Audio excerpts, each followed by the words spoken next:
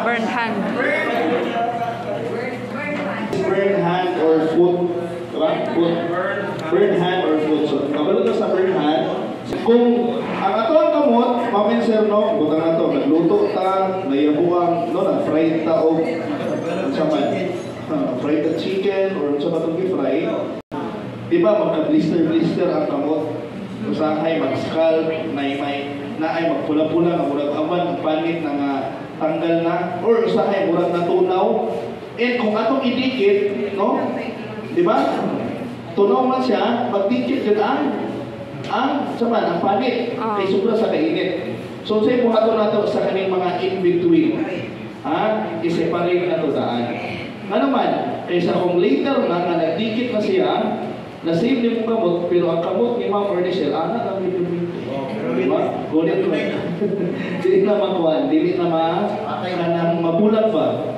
So, ang first of all, mga concern, no, if we have clean blood, Baskol, dili uga. Ano man, di kumuuga, apil ang panit, sakit na tanggalon. Basa, di sa ha, or moist. Ah. Ibutang na to in between nga ma-separate iyahang kamot. Adiser tayo ta or ay ha tayo ta mag-apply aning burn hand or food. Okay, sige. Proceed na ha. So si Sir Ed, nagluto og kwan. Tawagan ni, kanang French fries. Ngayon ko din ang mo French fries ka may naring deep fry. Moist or basa na cloth. Ngayon, hold your base, no? This is the base. No? Center sa base, no? Center sa base. Ano lang. Dapit sa yan wrist ko to. No? Yeah, yan wrist. Okay? Now, muni ang apex or ang tumoy. Di ba? Ang tumoy, atong i-tabos. Tabon ha, tabon. After na na, kaning side, di ba? This is the side. Atong i-lokoton. Lokoton lang ang malipyo. Apil ang tail. Now, pagunit yung sir, kung pwede no, kung makaya na siya.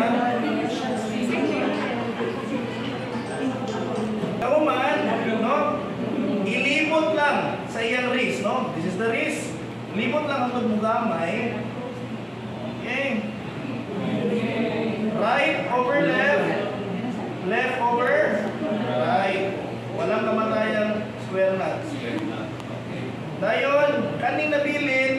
Atong i-hipos dali.